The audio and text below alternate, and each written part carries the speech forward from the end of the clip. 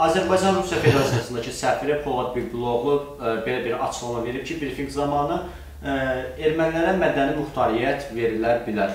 Buna münasibətiniz necədir? Mən hesab edirəm ki, bizim millətimizin çox gözəl xüsusiyyətləri var. Bir xüsusiyyəti də insanlara qarşı qəzəbli olur.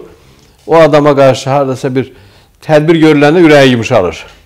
Mən sevirəm ki, Polad Bülbüloğlu'na qarşı indiyənə qədər Azərbaycanın deyək ki, maraqlarına ə, qarşı apardığı bir mövqe araşdırılmalıdır. Lap Mədəniyyət Naziri olandan üzü bu tərəfə biz həmişə izləmişik onu. O vaxtlar 2001-2002-ci illərdir. Biz belə bir təşəbbüs elədik ki, işğal günlərində deyək ki, o böyük konsert zallarında konsertlər verilməsin. Mədəniyyət Nazirliyinə müraciət etdik, heç bir reaksiya vermədilər. Özümüz təşəbbüs elədik. Harda konsert təyin olunmuşdu, getdik bütün takin Respublika sarayından tutmuş, nə bilim hansı saraylara qədər hər yerdə görürdük ki, afişası çıxıb elan verirlər, gedirdik, özümüz danışırdıq, ləğv edirdik və yaxud konsert başlayıbsa girirdik konsertin içərisində konserti ləğv edirdik, aksiya keçirdik içəridə. Xarici artistlərin də konsertləri olubdu. Yəni bunda bir milli qan olsaydı o vaxtlar bu təşəbbüsə müsbət dəyər verərdi. Amma biz onu öz qanımız bahamısına, çəkdiyimiz zəhmətin bahasına, döyülməyin bahasına, söyülməyin bahasına, e, tutulmağın, həbslərin bahasına nail olduq ki, ondan sonra bütün o böyük konsert zallarında Qarabazan Təşkilatının o işğal tarixlərinə bağlı buraxdığı plakatları payladıq, götürdülər və vicdanla da əməl edirdilər ki, bu günlərdə biz konsert verə bilmərik işğal günü. Bu da insanların e, deyək ki, əhval-ruhiyyəsinə təsir edən bir məsələdir. Yəni o xalq diplomatiyası 2007-2008-ci illərdə onda da Qarabazan Təşkilatı nə qədər onlara qarşı çıxış elədi, nə qədər aksiyalarımız oldu. Rusiyada bu səfir səfir fəaliyyətini mən sizə deyərdim ki, dəfələrlə demişik bunu, o vaxtları deyirdik. İndi də bir daha təkrar edirik ki, Rusiyada o səfir kimi fəaliyyəti Azərbaycanın maraqlarına heç vaxt xidmət eləməyibdi. O daha çox, yəni o vaxt deyirdik ha biz bunu, dəfələrlə deyirdik, üzünə deyirdik bunun. Deyirdi ki, onun fəaliyyəti Rusiyanın maraqlarının qorunmasına xidmət. Rusiyanın hansısa dairələri ilə bağlı bir adam kimi görsənir orada. Həlledici bir məqamda Azərbaycanın maraqlarına yox, Rusiyanın maraqlarına çıxır. İndi də yəni nə qədər özün gizlətsə də, nə qədər bunun himayədarları olsa da ortaya çıxdı artıq.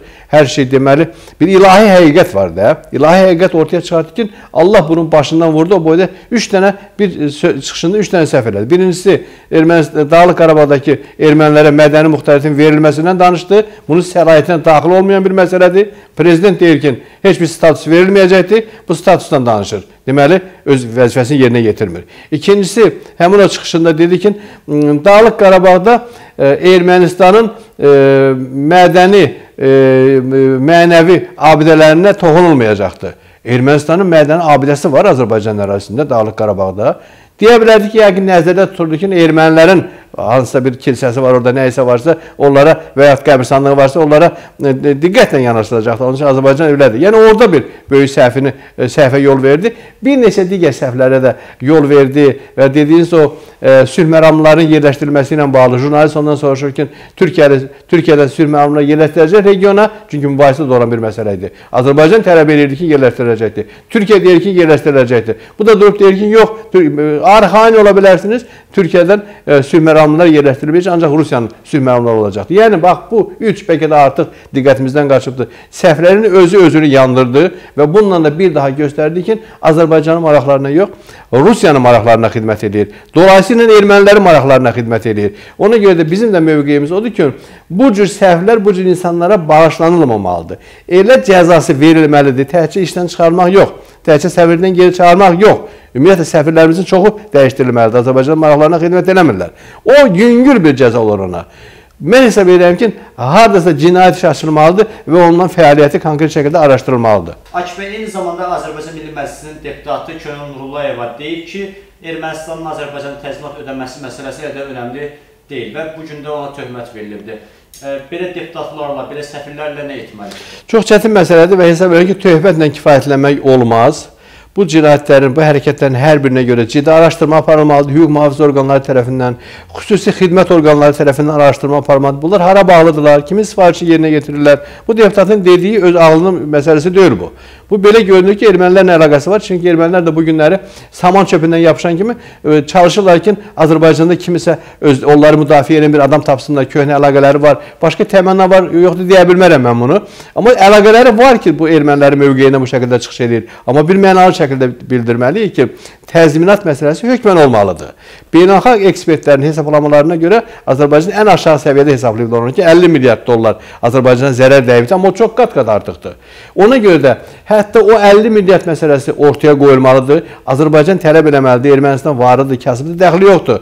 Kasıbdır, onu himayə edənlər, onu bura qızışdıranlar, onların diaspor e, lobbiləri var, milyarderləri var. Onlar ödəməlidirlər. Və yaxud onun əvəzində başqa bir şey verməlidir. Yəni Türkiyədən bilirsiniz ki, e, bəzi siyasi xadimlər belə təklif verdilər ki, o təzminatın əvəzinin əvəzində Zəngəzur Azərbaycana qaytarmalıdır. Ondan hadisə kompensasiya eləmək olar. İndi o da biraz o qədər uyğun deyil, amma birbaşa Ermənistan öz tərəfliyi cinayətə görə cavab verməlidir və təzminatı ödəməlidir. Almaniya kimi məsəl üçün Almaniya müharibədə 2-ci Dünya müharibəsində darmadağın olmuşdu, amma üzərinə təzminat qoyuldu və indiyənə qədər də ödəyir həmin təzminatı. Bu məsələ prinsipial bir məsələdir. Varlı kasıb məsələsi deyil. Onun günahının sübut olunması, günahının etiraf olunması məsələsidir. Bu məsələni qaldıran o deputat da sərt şəkildə cəzasını almalıdır. Deputatlıqdan çıxarılmalıdır, geri çağırılmalıdır. Qarabazar Təşkilatının Qadınlar Şurası bundan bağlı məsələ qoyubdu bu günləri. Eyni zamanda mən hesab edirəm ki, konkret şəkildə o deputatın fəaliyyəti araşdırılmalıdır. Akif bəy, müharibə məlum bəyanatla bitib yoxsa davam edir? Bu bəyanatla mən hesab edirəm ki, müharibə bizim üçün artıq bitibdir. Bizim mövqeyimizin, e, deyək ki, e, tələblərimizin, istəklərimizin və qanuni istəklərimizin yerinə yetirilməsi baxımından bitibdir. Çünki qoşunlarımız ərazinin xeyli hissəsini azad edibdir. Yerdə qalan ərazi ilə bağlı da bu sənədə imza edənlər, o cümlədən Ermənistan, Azərbaycanın bütün Dağlıq Qarabağ haqqını tanıyıbdır. O mənada bizim üçün bitibdir. Yerdə qalır o detallar, ə, e, məsələləri, xırda məsələləri həll eləmək, texniki məsələlər həll eləmək. Amma kimlər üçünsə bitməyə bilər bu müharibə. Ermənistan üçün ola bilər bitməyibdir. Rusiya üçün ola bilər bitməyibdir. Ona görə də Azərbaycan hazır olmalıdır ki, Ermənistanın və yaxud kimisə təşəbbüsü ilə yenidən müharibə başlayarsa, elə bir zərbə vurmalıdır ki, bir daha o müharibənin bərpa olması ehtimalı qalmasın.